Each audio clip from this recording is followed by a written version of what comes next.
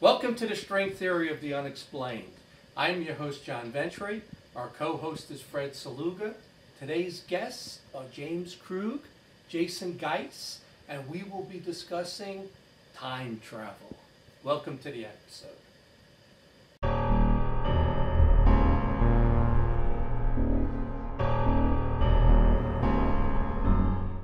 So this session we're going to talk about time travel and people that say I don't believe in time travel are wrong. Time travel is definitely possible. Albert Einstein proved it through special relativity.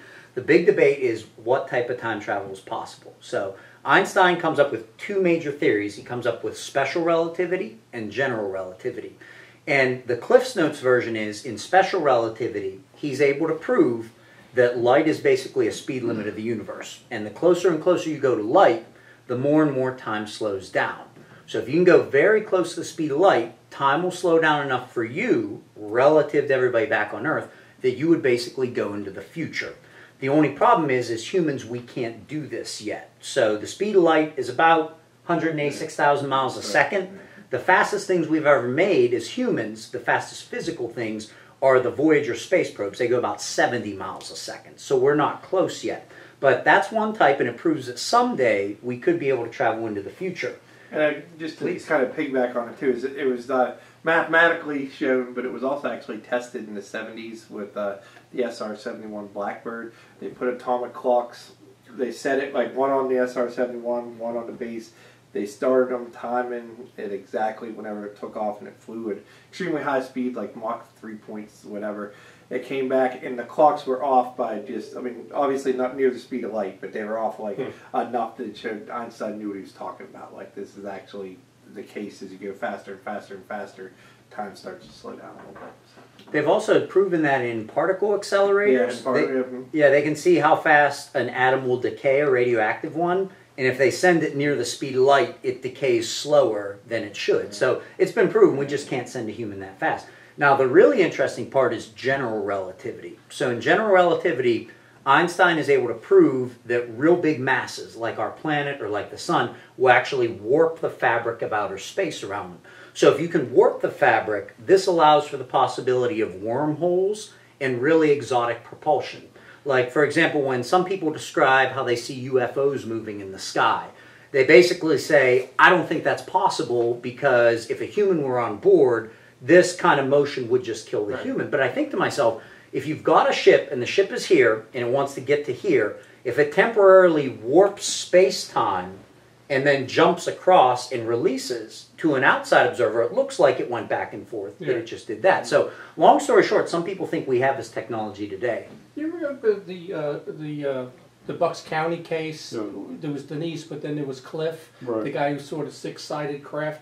When he described the single one flying, he said it was skipping through space, like Mm-hmm. almost like he took a reel of film and just cut out, Mm. you know, three or four frames, and it just it just skipped across space, almost like it's moving through time. Yeah. you know. Yeah, exactly. So we might have it. Now, here is the real issue.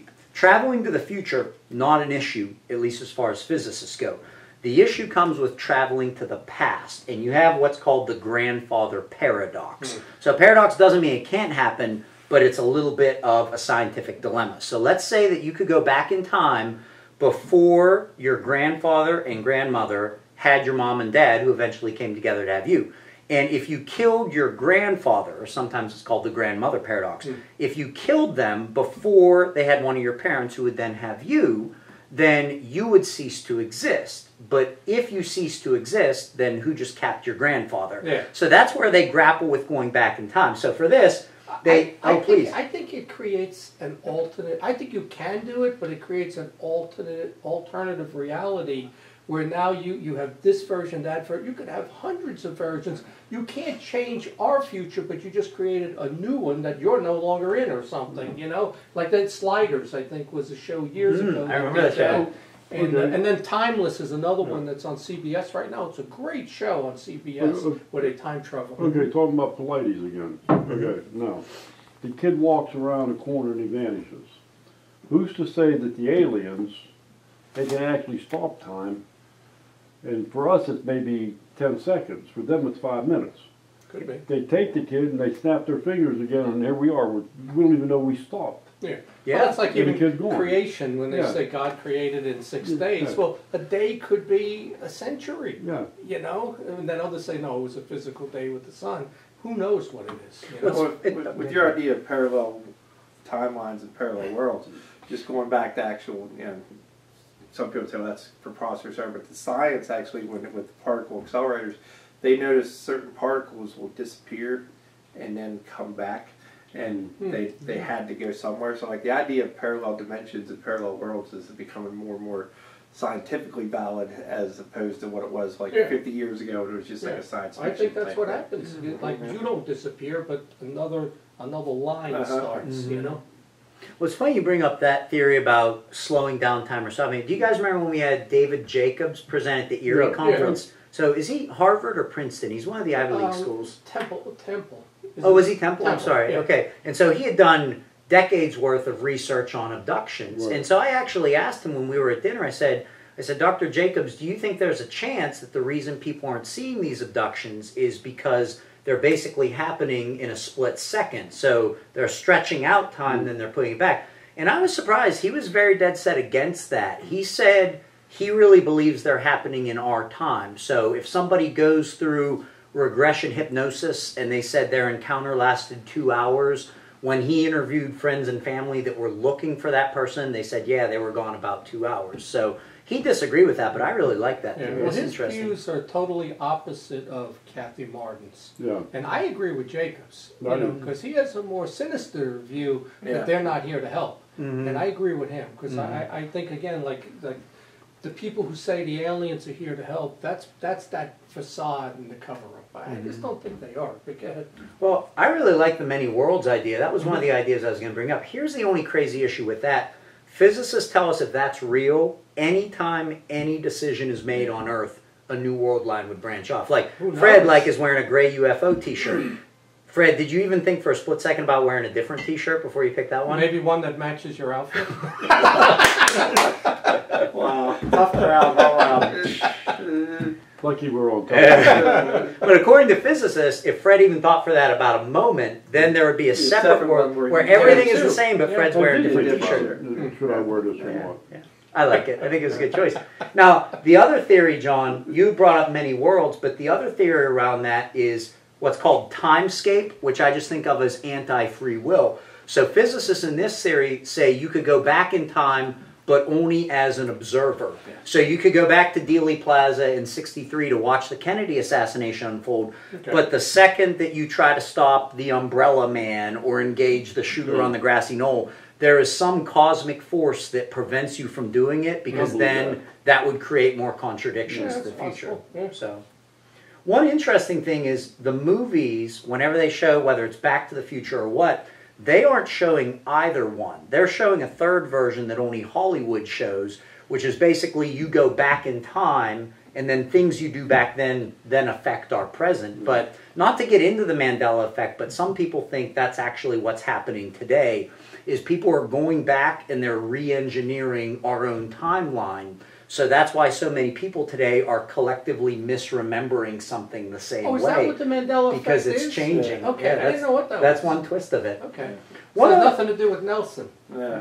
Nelson Well, the reason, Mandela. reason, oh. reason No. it's called the Yeah. well, it's, the reason it's called the Mandela effect. Oh, it's. I mean, I'm just Yeah, joking. No, no, no. No, it is. The Yeah, reason it's called the Mandela effect is the late one of the ladies that was the first to put it out kind of on the internet.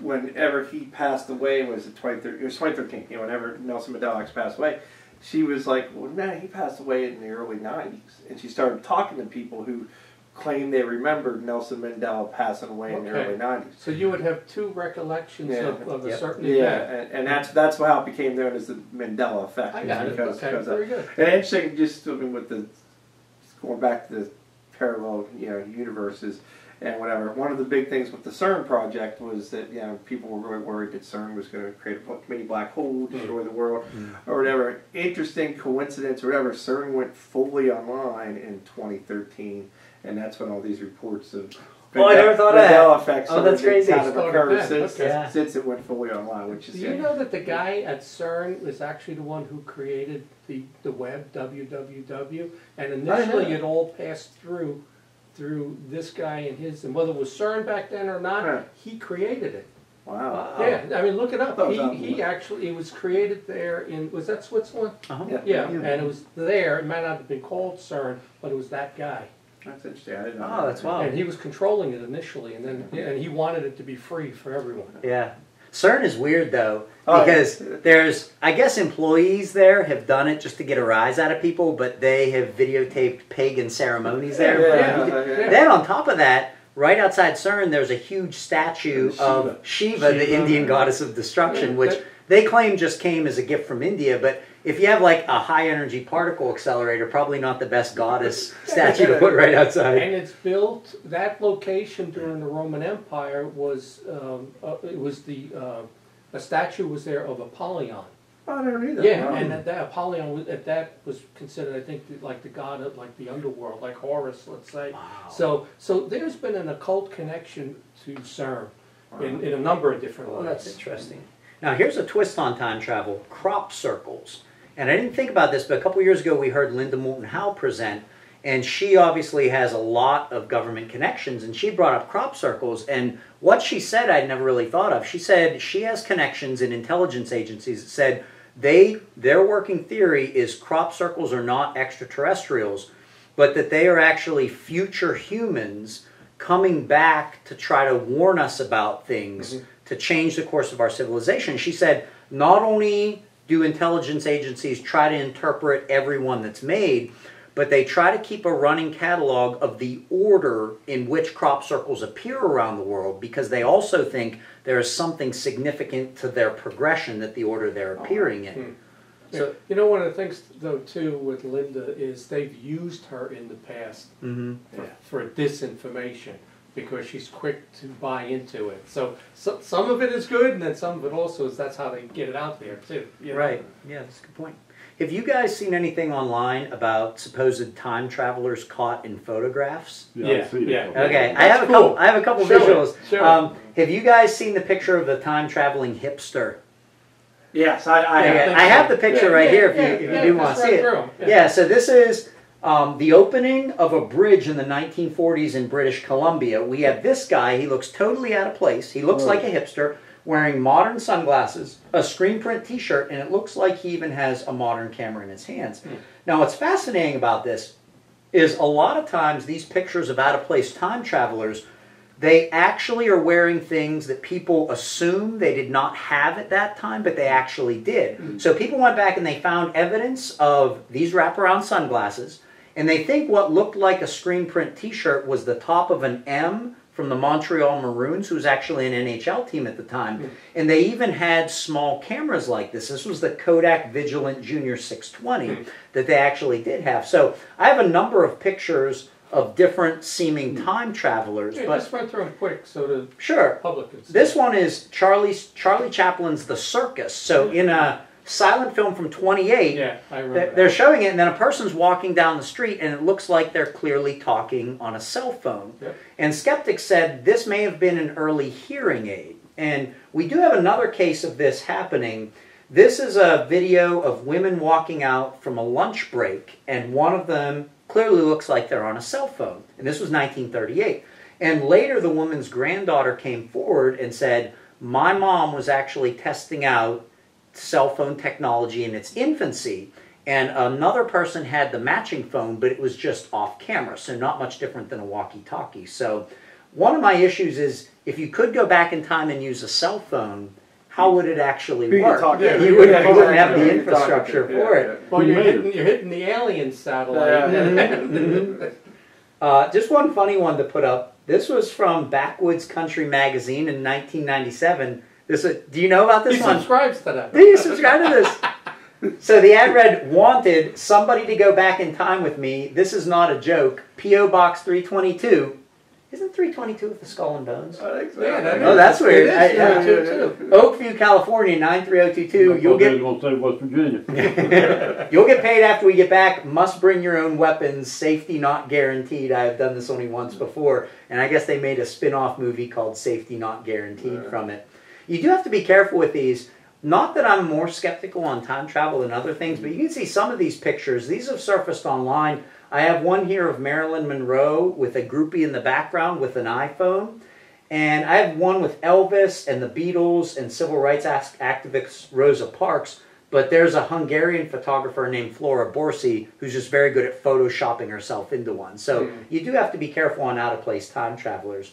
But there are some interesting ones. Jay, do you have any any uh, historical things on time travelers or anything like that? Because I got one good picture of one here that people can't explain. Uh, I think you hit the ones that I usually think about. Like I, and I share with my class. So yeah, I think you've hit all the ones that I've shared with the class.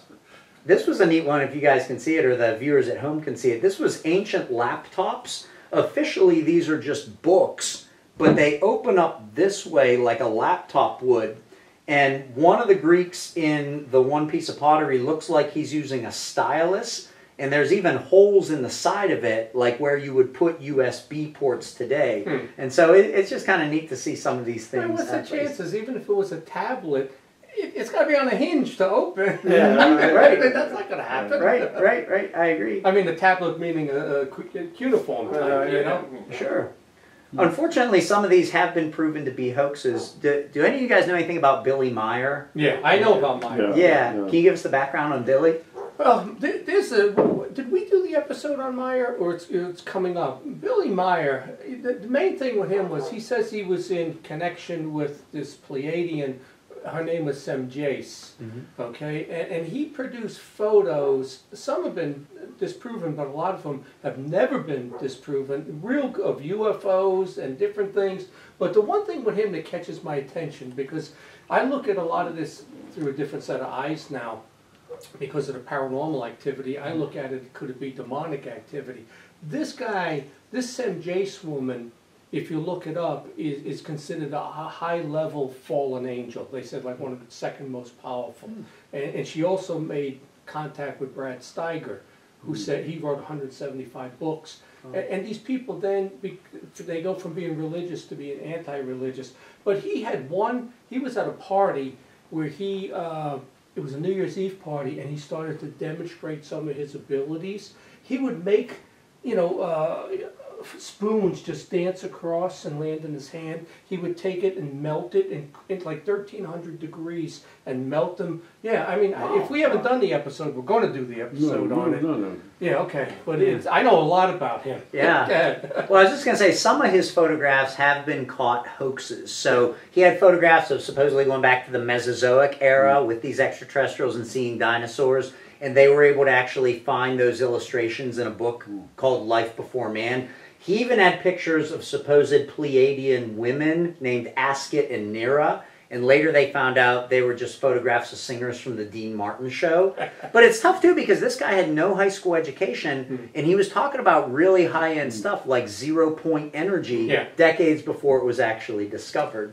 John, do we have time for a couple other fun ones? Yeah, you know, and I'm even thinking, show that Mandela stuff because I didn't realize what it was, and show where you have the, the two pictures. We'll run Okay. through that, even if it's quick. All right, I got one good one on time travel. If you could go back, or if you could go forward in time and actually see what sports teams were going to win different events, and then came back and said, "Hey, I'm from the future. This is going to happen," I think people would take it very seriously. And we have one case about this. Now, this was reported in the Weekly World News, but this was a time traveler in 2003 named Andrew Carlssin. He supposedly came back in time and had only $800 in his pocket and he turned that into $350,000 within two weeks. Wow. And he was supposedly busted for insider trading and then he just hmm. disappeared. So most people think that one's a legend. One that's not, though, there was a high school student from Chicago. This was late 90s. His name was Michael Lee. And in the caption below his name, you know how sometimes seniors can like write their own personal note? He writes, Chicago Cubs 2016 World Champions, you heard it here first. Now keep in mind, he says this while the Cubs are mired in one of the biggest losing Yeah. stretches in all professional sports history. And after the Cubs did win it in 2016, they went and found Michael Lee, and people assumed that he just kind of winged it and threw an, a number out there. But he said no. He said he recalled in the late 90s having a very vivid dream, and he's at Wrigley Field. It's nighttime, people are going crazy, and he sees the Cubs out on the field, and then flashing on the scoreboard is Chicago Cubs 2016 World Champs. So he saw the future. So, I mean, that's basically the premise of Back to the Future 2. Marty mm-hmm. McFly's nemesis, Yeah. Biff, goes mm-hmm. forward in time and brings back a sports almanac from old Biff. But long story short, I feel like if somebody came back in time and was able to give all these sports teams that were going to win, I think people in Las Vegas would take time travel very Well, they seriously. just legalized sports betting mm-hmm. here in. Pennsylvania Yeah. and across Yeah. the country. We'd be so there talking you go. So about now, them being assassinated. now you can't Yeah. get in trouble for it. So before you move on, let's ask, just ask a question. If you could go back in time, where would you go? What would you, if you could go to one place to see one thing or person? What would you do? You had one ch- one chance. See Jesus raised Lazarus from the Okay, dead. where would you go? Either Kennedy assassination, try to stop that, or go back to try to keep the library at Alexandria from being burned down. Because I read when that happened, it set human civilization back like 2,000 years. Yeah, that's a good one. Wow, so yeah, you guys have all these very deep ones. I'd, I'd love to go I back. already told them the question. Oh, but yeah. I didn't tell you. No. I, I, I would I would like to go back and see uh, like you know some any of the great baseball players play. Like see Babe Ruth, watch a game, actually watch Babe Ruth play, or watch mm-hmm. you know one of those uh, people see. I, I just saw in Ripley's Believe It or Not in the Sunday mm-hmm. paper, when he played Babe Ruth, he would put a um, cabbage plant, like it was in the Yeah. refrigerator, he'd put it in his hat, and that's how he kept himself cool when he was playing Oh, the wow. game. Really? It Crazy. kept cool for a while. Oh. But I've always th- actually thought about this. There's two things I would want to see. One, I'd want to go back and see a real dinosaur, a T-Rex, let's mm-hmm. say. Mm-hmm. You know, I'd like to show up and ju- see it. And I would go back to see Jesus also. And, you know, and if I couldn't communicate, probably well, he could. he could talk back. But I just want to meet him and, and, and even ask him a question or two. Mm. Those were the ones I, I, would want to but I think that'd be cool seeing Dave walking up the road and the, the sister saying, you know, Lazarus died. He said, don't Yeah. worry about it. I'll Or take care of carrying the cross Yeah. or whatever. Yeah, I you know, mean, I mean, to even be there. that. Yeah, Because they said when watch he finally died, and he said, it's funny when he said on the cross that it's it's over. It didn't. He hmm. didn't mean his life. You know what he meant was it, the reign of Satan hmm. was over as far as hmm. openly Mm. doing the things he could do because he died to really reel Satan in and and to help us. But uh, you know, then there was an earthquake and all this. I would. That's what I want want to see. It would But be he fun. might, I would, I might go, and he might look at me and go, "Mm, "You're not supposed to be here. Get out." It would be And funny then I find you, myself back in the future. Yeah. if you like that. mastered the time travel technology, you got back to see Jesus, you go to speak to him in English, he speaks to you in Aramaic, you're like, son of a gun, this did not work out the way I thought it was going to work out. He would do it on purpose though, because he can't tell you. Hey, before we do Mandela Effect, have you guys heard the story about the pilot Bruce Gernon and the Bermuda Triangle and the time vortex he supposedly went through? Yeah, yeah, and, Okay. and he was flying this plane, and, and it was like a spinning vortex. Tell the story. I remember seeing it on. TV. Yeah, so this is in the this is in 1970. So he's flying his small airplane through the area of the Bermuda Triangle. He said it was a clear blue day, and then he said all of a sudden this wall of clouds just appeared in front of him, and a vortex opened up in him. And he said it happened so suddenly there was no way he could go any other way. And he said through the vortex he could see blue sky. So he thought, son of a gun, I'm just going to go for this. So he gets through it, and suddenly he's almost to where he needs to land.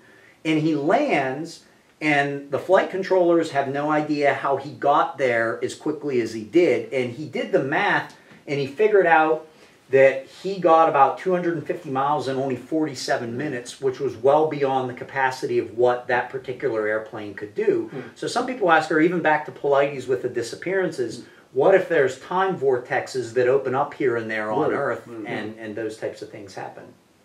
Uh, real quick, I, I don't remember the guy's name, so I don't know all the details. There's an interesting case with the whole vortex thing. It was a Scottish pilot in the 30s. Uh, he was like a colonel or whatever. He was flying and he was like going back to where his base was, and he looked down and he saw like these weird planes that he had never seen before. Uh, and he saw that like all the grounds crew were in yellow, um, like jumpsuits, or whatever. He's like, well, that's not the colors of my army. Like, did I misdo whatever? Uh, and so he, uh, I mean, supposedly through reports, he got on the radio, couldn't get anyone on radio, thought it was kind of weird, so he just kind of flew around for a little bit more, thought maybe made a uh, air, flew so far in the other direction, and then he got started getting radio contact again. And they're like, "Now you're on the right heading." And when he came back to the heading, it was his normal air base. And then the part that was interesting about it is the uh, Scottish airfield. Uh, it was in the 30s during World War II. They changed all their colors to yellow as far as the things, and like he claims that the planes he saw were like the Spitfires and planes that Wow. didn't exist at Yeah. the time. I mean, yeah, just his story, but it's just kind of interesting little side thing Hmm. with that kind of stuff. So. That is neat about two different timelines. Uh, Like, like there's been a number of stories of people that will see other people in colonial garb, Yeah. and at first they think they're going to like a costume ball, then they You figure out that no, with ghosts and stuff. Yeah, and oh gosh, absolutely. people Yeah. say they see that. You Know? Absolutely. But show us some of the things that Yeah, the people. Mandela. That, Okay. Uh, Sure. So as Jay said, people believe two different theories on Nelson Mandela. Officially, he was a free man and died at the ripe old age of 95, but a lot of people say no, that's impossible. I remember him dying in prison in South Africa. I saw the funeral on TV. Hmm. So here are some examples. Um, here we have Oscar Mayer and Oscar Mayer for hot dogs. So basically, we'll give the audience a couple seconds to figure out which one is correct. Hmm. Fred, do you why don't you be our litmus test, Fred, for all these? Which spelling, Fred, of Oscar Mayer is correct? The M E Y E R or M A Y E R? M.E. Incorrect, M A Y. Hmm. All right. Fred, how does Queen's We Are the Champions end? Does it end just with We Are the Champions, then it tails off? Or at the end, does Freddie Mercury say, Oh, the world? of the world. Incorrect. It was the other way. And I show this one to students and they freak out. They say, No way is that possible. But then when you listen to the song, he actually says, Of the world, at least in our timeline now, towards the middle of the song. All right, Uncle Moneybags from Monopoly. Which is correct, Fred? Does he have the monocle or not have the monocle? Mm, You're correct on that one. Good. No see, I would, I would have said he. Uh, so would I. Yeah, I know. Now this one only a younger generation would get. This is Pikachu from Pokemon, and I'll ask the kids. They're passionate about it, but this is one he found online, and his tail does not have a black stripe. How about this one, Chick Fil A? Which is the correct way to spell chick? Is it C H I C? C-H-I-C. Incorrect. It's spelled the Yeah, regular way. it's- Me too. that's what I, that's what I remembered it as. And I would have said, I would have said, I don't know how it's spelled, but I know it's spelled some weird way, not the normal way, but nope. All right, Fruit Loops. How is the popular breakfast cereal? Is the first word F R U I T or is it F R O O T? Fruit. Oh, look for you, I think. Incorrect. It's F Oh, R damn, O O I, T. I'm, I'm feeling like hell. Because you're older. Yeah. You, you saw the original You saw versions. original. you saw them. Now this one, when I saw it, I refused to believe it, and I called my mom so that I could dig out my old Berenstain Bears books. So how is Berenstain spelled? Is it S T A I N or S T E I N? I have no idea. I don't know what that is. Do you remember these books? Yeah, I do remember All right, books, yeah. yeah. Well, that one that's a pretty popular one. It's actually S T A I N. So that's that's basically the Mandela effect. So Yeah. Yeah, there's there's even some other ones that I've shared with like one of my kids asked me about it was uh, like there's a popular show on HBO uh, and you know, most people say it's called Sex in the City, but it was called Sex and the City. Mm, Pretty mhm, much everybody mhm. remembers it as Sex in the City. Yeah. Uh, the the famous line in Star Empire Strikes Back, uh, you know, Luke, I am your father. Well, that's not really what he says. He says, No, search yourself. I am your father. He never actually says, Luke, I am your father. And just those those are some of the ones that are popping into my head of ones that have been explained Hmm. before that people think are just kind of strange that they totally remember it one way. And it's the same thing. There's a phenomenon. Uh, I listened to a podcast, group podcast, what it was, but it was along the same ideas. And the it's kind of like uh, where you just you know the alive or dead. Where like there's certain like celebrities you're. You s- swear, oh no, he died, but then you find out like, no, they're still Yeah. alive. Yeah, I mean, and that sort of thing. So Right. it makes you wonder how much is faulty memory or how much is something kind of. You know, I just noticed Yeah. something in, in that last book I published. I give a lot of different scenarios, right? One of the things I talk about time travel just a little bit, but uh, what I think the plan would be, from let's say a, an occult standpoint, if you could time travel, you would go back to the Dead Sea Scrolls and replace them with a totally different version that discredits the whole Jesus story. Now think Oh, yeah. about that, that the Oh, wow. impact Yeah, of yeah. that on the world. That's why this stuff's dangerous, you know. I Or, or like that. the show Timeless, they they go back. There's one who goes back to assassinate these famous people, and another one that keeps trying to stop them. It's really a good show, mm, Whoa. and how it changes the whole future. Hey, there's a new phenomenon, and I don't know if this relates or a lot, but it made me think of it. Do you guys remember like a year or two ago on social media, there was that picture of the dress, and people freaked out because some people thought it was yellow Yeah. and some people thought it was purple. Mm-hmm. And then just last week, what was that thing? Was it Yanni versus? Jenny. Yeah, it uh, was. It was mm-hmm. that sound online, and mm-hmm. half the people heard it one way, and half the people heard it another way. So I don't know if it relates or not, but sometimes I think maybe it's just a question of our perception. Maybe some people see the world a certain way, some people see it a different way, and both people are right. That's interesting. Yeah. Good stuff. Yeah. That was, that was good. Cool. Very good. All Thank right. you. And we will have you, we need to get you at the Philly conference to speak. You did Pittsburgh, right? Correct. Yeah, we got to get you next year, 2019. You'll be speaking All right. in Philly. All right, sounds good. All right, Mark it thank you. That's all right. That's our episode.